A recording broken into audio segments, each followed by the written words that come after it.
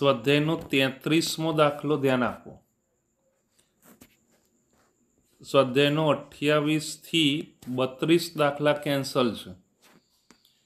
તેત્રીસમો દાખલો ધ્યાન આપી દો. ચાલીસ કિલોગ્રામનો એક વાંદરો, એક દોરડું કે જે મહત્તમ છસો ન્યૂટનનું તણાવ ખમી શકે છે. તેના ઉપર ચડે છે. નીચેનામાંથી કયા કિસ્સામાં દોરડું તૂટી જશે.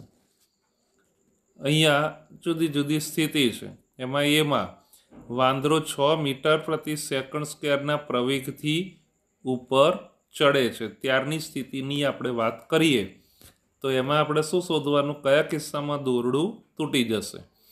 હવે વાંદરાનું દળ એમ બરાબર ચાલીસ કિલોગ્રામ. દોરડામાં સહી શકે તેટલું મહત્તમ તણાવ બળ ટી મેક્સિમમ બરાબર છસો ન્યૂટન. હવે એમાં જ્યારે વાંદરો એ જેટલા પ્રવેગથી ઉપર ચડતો હોય, ત્યારે અહીંયા આપણે કહી શકાય કે ટી તણાવ બળ ટી પ્લસ અને એમજી માઇનસ બરાબર પરિણામી બળ એમ એ તો માટે ટીને સૂત્રનો કરતા એટલે ટી બરાબર એમ જી પ્લસ એ આ યાદ આવે તો પેલું લિફ્ટ વાળો જે દાખલો હતો ને, એમાં ઉપર જાય ને એટલે જી પ્લસ એ આવે, નીચે આવે એટલે જી માઇનસ એ આવે. બસ એના જેવું જ થઈ શકે. તો એમ જી પ્લસ એ તો આ ચાલીસ, દસ વત્તા છ, એટલે છસો ચાલીસ ન્યૂટન. હવે મહત્તમ તણાવ તો કેટલું? છસો ન્યૂટન. વધુમાં વધુ તણાવ કેટલું? છસો ન્યૂટન. છસો ન્યૂટન સુધી વાંધો ના પડે, પણ અહીંયા તણાવ કેટલું આવ્યું? છસો ચાલીસ ન્યૂટન. એટલે અહીંયા T greater than T maximum હોવાથી દોરડું તૂટી જશે. પડી ખબર?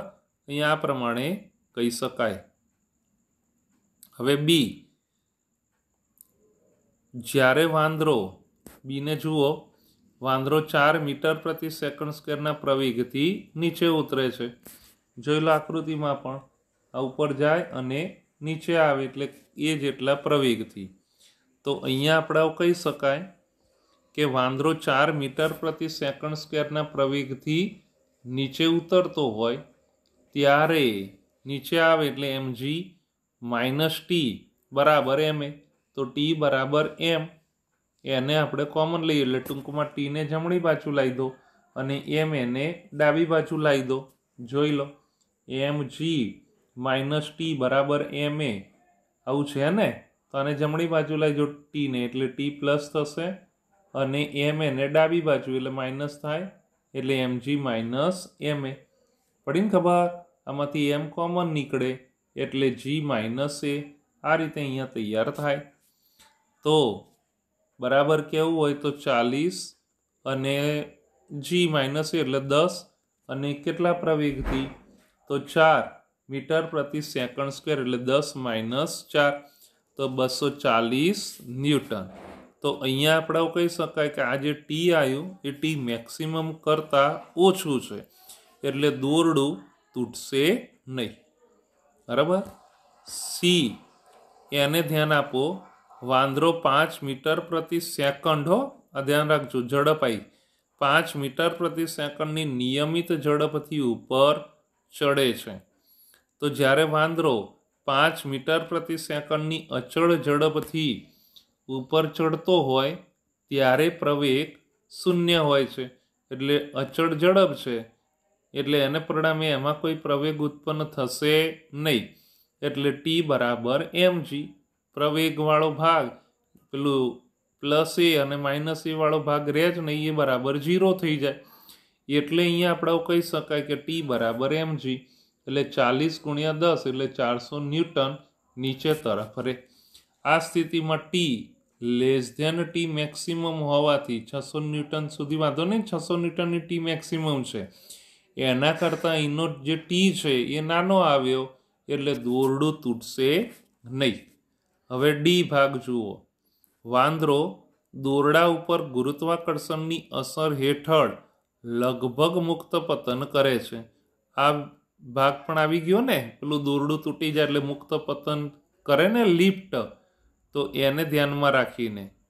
તો જ્યારે વાંદરો ગુરુત્વાકર્ષણની અસર હેઠળ મુક્ત પતન પામતો હોય, ત્યારે તેનો નીચેની દિશામાં પ્રવેગ જી જેટલો હોય, એટલે એ બરાબર જી થાય.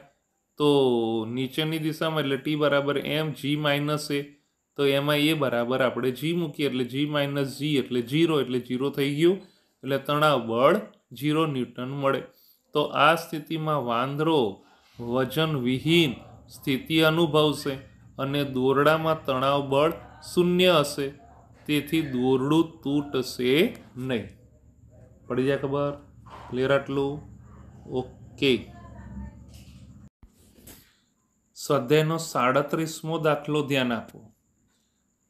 સ્વાધ્યાયનો ચોત્રીસથી છત્રીસ. એ દાખલા કેન્સલ છે. હવે સાડત્રીસમો દાખલો ધ્યાન આપી લો. પંદર સેન્ટીમીટર ત્રિજ્યાની એક તકતી, તેત્રીસ, વન બાય થ્રી.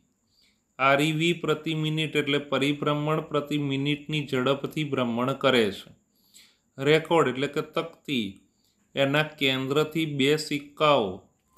ચાર સેન્ટીમીટર કેન્દ્રથી કેટલા અંતરે? ચાર સેન્ટીમીટર. એટલે એ ચાર સેન્ટીમીટર અને બીજો ચૌદ સેન્ટીમીટર દૂર મૂકેલા છે. જો સિક્કા અને રેકોર્ડ વચ્ચેનો ઘર્ષણાંક જીરો પોઈન્ટ પંદર હોય, તો કયો સિક્કો રેકોર્ડ સાથે ભ્રમણ ચાલુ રાખશે?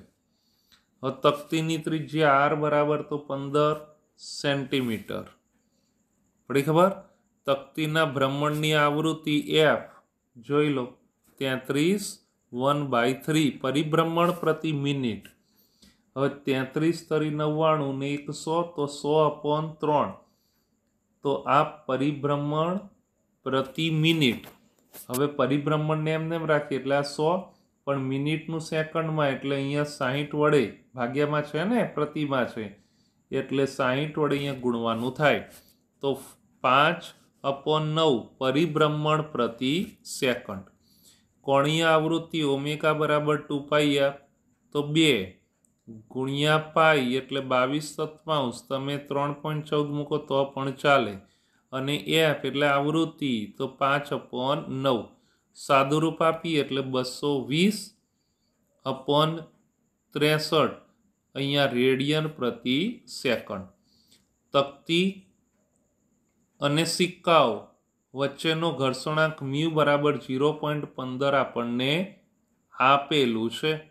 તો સિક્કાને તકતી માટે ભ્રમણ કરવા માટે ઘર્ષણ બળ કેન્દ્રગામી બળ પૂરું પાડે છે. તો કેન્દ્રગામી બળ એફ સી બરાબર એમવી સ્કેર અપોન આર હવે અહીંયા તમે જુઓ આની પરથી આ કઈ રીતે આવ્યું? તો એમવી સ્કેર અપોન આર તો બરાબર અહીંયા કેવું હોય? તો વી બરાબર આર ઓમેગા વી બરાબર આર ઓમેગા જાણો છો તમે ઉપયોગમાં પણ આવી ગયું. તો આર સ્ક્વેર ઓમેગા સ્ક્વેર થાય અપોન આર. તો આમાંથી એક આર જતું રહે એટલે એમ આર ઓમેગા સ્ક્વેર. તો એમ આર ઓમેગા સ્ક્વેર. પડી ખબર? અને ઘર્ષણ બળ એફ બરાબર મ્યુ આર.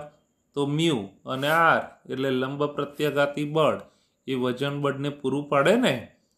પડીને ખબર? તો અહીંયા આપણે કહી શકાય કે આ બાજુ આર, તો અહીંયા એમ જી. તો અહીંયા આર બરાબર એમ જી. સિક્કાને સરકતો અટકાવવા માટે કંટ્રોલમાં રહેવું જોઈએ ને? એટલે ઘર્ષણ બળ વધારે હોવું જોઈએ. તો F greater or equal F C કેન્દ્રગામી બળ એફ સી કહેવાય. બરાબર? તો F greater or equal F C હોવું જોઈએ.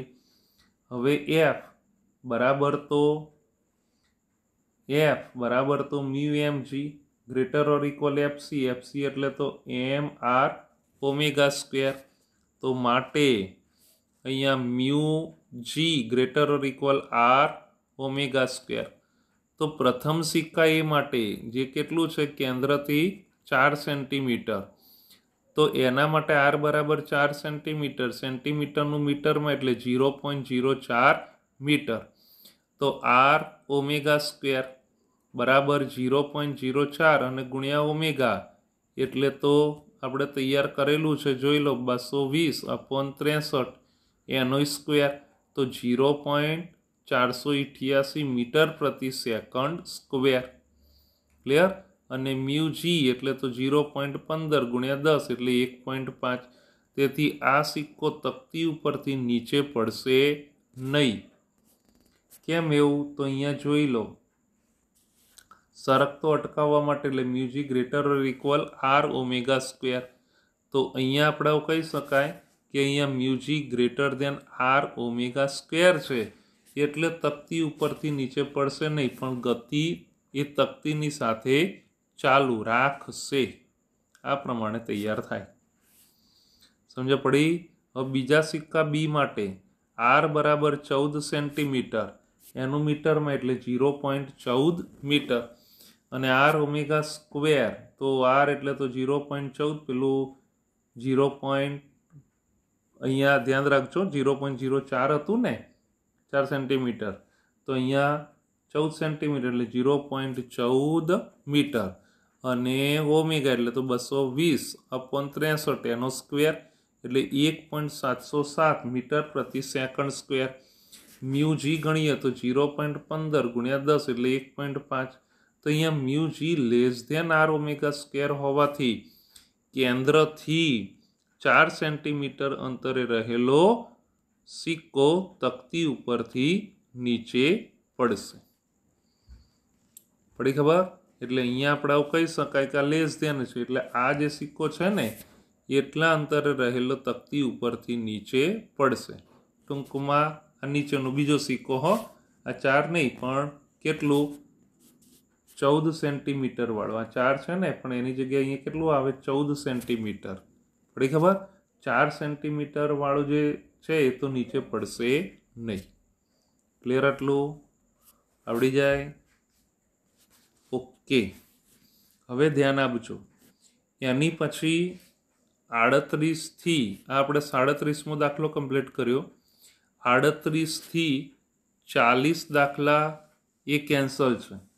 કેમ કેન્સલ છે એ મેં પહેલાં આગળ સમજૂતી આપીને છવ્વીસમાં દાખલાથી. બરાબર? એમાં મેં કહ્યું હતું કે ગુજરાત ગવર્મેન્ટ દ્વારા બે હજાર વીસ એકવીસમાં અમુક અમુક દાખલાઓ, અમુક અમુક ટોપિકો કેન્સલ કરાયેલા છે. માત્ર બે હજાર વીસ એકવીસ પૂરતા. બરાબર? એમાંથી આડત્રીસથી ચાલીસ એ દાખલા પણ કેન્સલ છે. અને છેલ્લો દાખલો ચાલીસમો હતો, એ પણ કેન્સલ છે, એટલે તમારો છેલ્લો દાખલો કયો બન્યો? સાડત્રીસમો. પડી ખબર? કેમ કે આડત્રીસ, ઓગણચાલીસ ને ચાલીસ, એ ત્રણેય દાખલા કેન્સલ છે. ક્લિયર તો તમારા સ્વાધ્યાયના દાખલા કમ્પ્લીટ થઈ ગયા. અને તમારું આ પાંચમું ચેપ્ટર પણ કમ્પ્લીટ થઈ ગયું. આગળ આપણે થિયરીઓ ઉદાહરણના સ્વાધ્યાયના અને એમસીક્યુ એને પણ આપણે કમ્પ્લીટ કરાવ્યા. પડી ખબર? ક્લિયર ને? ઓકે તો તમારું આ પાંચમું ચેપ્ટર કમ્પ્લીટ થઈ ગયું. ઓકે